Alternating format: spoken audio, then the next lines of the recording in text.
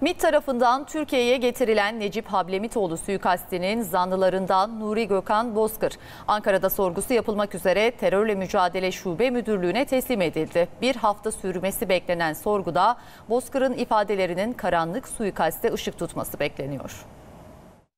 Milyonlarca insan Fethullah Gülen'in yargılanmasını istiyor ve bu yapılanmanın dağıtılmasını istiyor. Tarihçi yazar doçent doktor Necip Hablemitoğlu suikastinin kara kutusu olarak nitelendirilen Nuri Gökhan Bozkır, Ukrayna'da yakalanarak Türkiye'ye getirildi. MİT tarafından Türkiye'ye getirilen Bozkır, Ankara Emniyet Müdürlüğü, Terörle Mücadele Şube Müdürlüğü ekiplerince bir hafta boyunca sorgulanacak.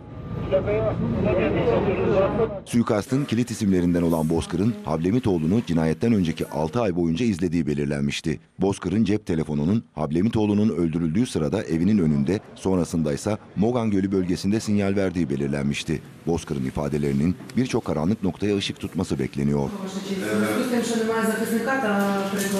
Nuri Gökhan Bozkır yakalanmadan önce Sabah gazetesine verdiği röportajda Necip Hablemitoğlu öldürülmeden önceki günlerde Özel Kuvvetler Komutanlığı'nda olağanüstü bir hareketlilik olduğunu söylemişti.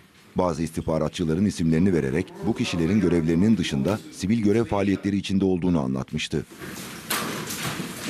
Suikastten bir gün sonra da bu kişilerle göl başında koşuya çıktıklarını ve içlerinden birinin Mogan Gölü'nün kenarından geçerken içinde suikast silahının bulunduğu siyah bir poşeti göle fırlattığını söylemişti. Atılan yeri krokide gösterdiğini ve bölge aranırsa silahın da bulunabileceğini ileri sürmüştü. Emniyetteki yaklaşık bir hafta sürmesi beklenen sorgusunun ardından Nuri Gökhan Bozkır'ın savcılık sorgusu için Ankara Adliyesi'ne sevk edilmesi bekleniyor.